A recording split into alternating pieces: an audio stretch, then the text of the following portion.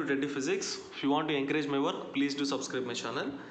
So how you would connect these three resistors, each of resistance 6 ohms, so that the combination has a resistance of 9 ohms and 4 ohms. Okay. So they are giving three resistors of 6 ohms. So we, in our hand we are having so e- three resistance of 6 ohms. Each resistance have 6 ohms. Like that we are having three. Now how you are going to connect these three in, su- in such a way that you will get 9 ohms. Okay. So generally if you connect in series what will happen? If you connect in series what will happen?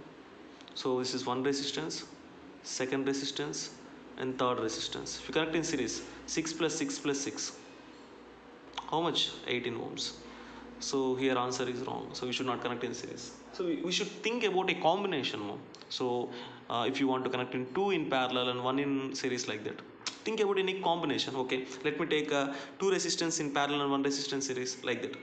So i'm going to take here um, two resistance in parallel.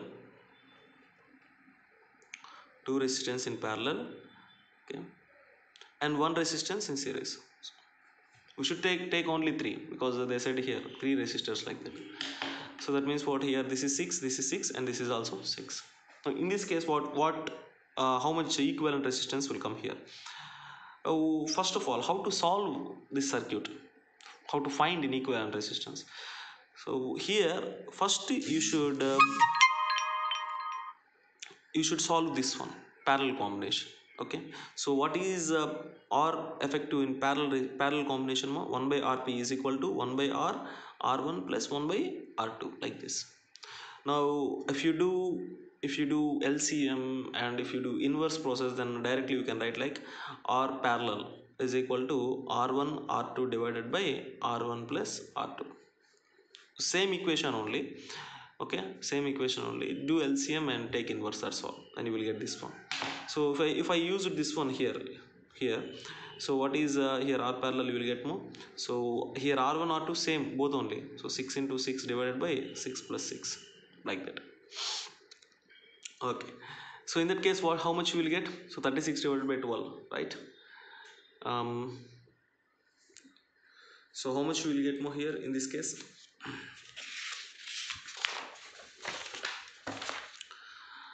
So 6 into 6 divided by 6 plus 6 that is equal to uh, 36 divided by uh, 12 so this is um, 2 ones are 2 3 3 ohms. You will get 3 ohms very good. So this is what? This is rp that means what? This again i'm going to read out this circuit.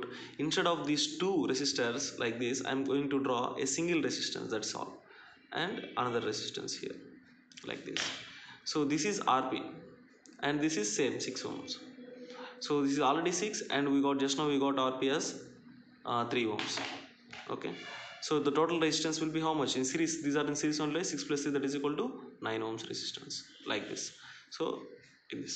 In the same way you should think another combination which will give you uh, 4 ohms which will give you 4 ohms. Another combination we should think about another combination which will give us 4 ohms. So what is that combination? Think about it. So what if i connect all the resistance in parallel only?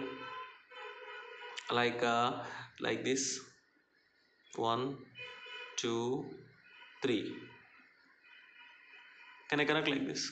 Okay if you connect like this we know that effective resistance will be lesser than will be lesser than um, a, a least resistance in the in this resistance. So the effective resistance rp will be lesser than it will be lesser than the least resistance r least in all these three resistance. In this case what we will get means r least is 6 only all are 6, six only right? 6 ohms.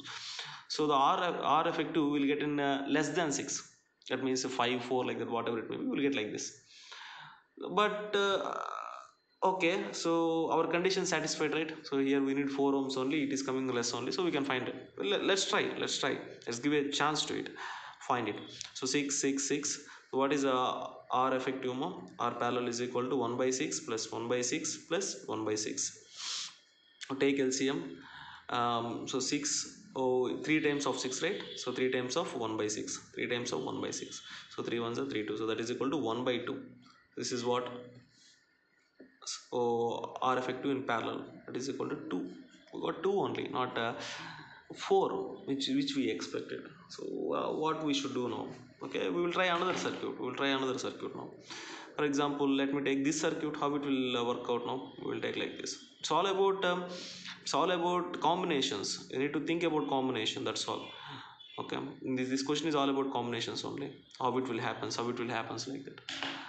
Okay. So in this case this is 6 and this is also 6 this is also 6 like this. Now what is the effective resistance? First we should uh, take this one and we should solve this one. And if you solve this one how much you will get here? This is 6 only very good.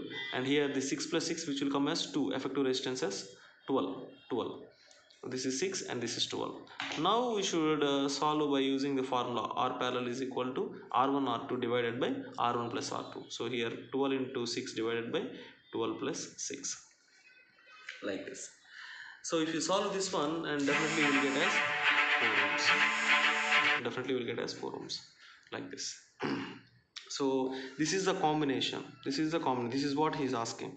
Means how I should connect the circuit. How I should connect the circuit so that the effective resistance will be 4 ohms. In the same way how I should connect the circuit the effective resistance will be 9 ohms. So like this. This is the first one. This is the first one. And uh, this will be the second one. Second circuit. Like this. Thank you